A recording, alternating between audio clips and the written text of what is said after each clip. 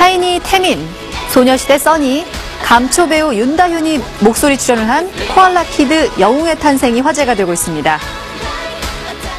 생방송 스타뉴스 시청자 여러분, 저희는 코알라 키드입니다. 코알라키드입니다. 무슨 역할을 맡으셨죠? 네, 저는 미란다 역을 맡은 써니고요.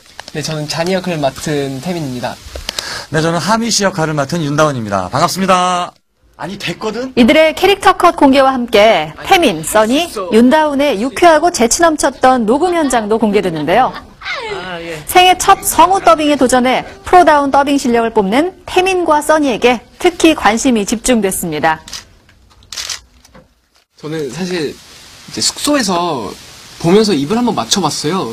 그때 이제 멤버들이 이제 재밌다고 인형도 코알라 인형을 선물해주고 동영상 찍어주고 그랬는데 그걸 이제 모니터하면서 봤는데 어, 너무 오글거리고 되게 어색함의 그 자체더라고요. 전 되게 스스로 잘했다고 생각했는데 제가 너무 어렵다고 물어봤었어요. 그랬더니 멤버들이, 어, 자기들도 상당히 처음에는 어색하고 부끄러워서 고생을 많이 했는데 그런 거를 좀 내려놓고 어, 열심히 하면서 또 이렇게 좀 오버해서 하면 들을 때 더 재미있고 영화를 더 살려줄 수 있다고 맛깔나게 표현이 될 거라고 좀 더 과장되게 표현을 하라고 많이 조언을 해줬어요.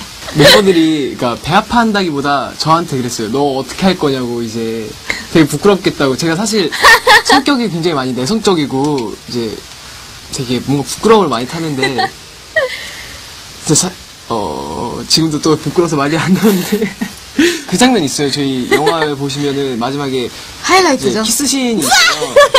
되게 녹음할 때 부끄러웠어요. 진짜로 연습을 했다는 얘기도 있고. 태민, 써니, 윤다훈의 목소리 연기와 함께 눈을 사로잡는 3D의 화려한 비주얼이 매력적인 애니메이션 코알라 키드 영웅의 탄생 내년 1월에 만나보실 수 있습니다.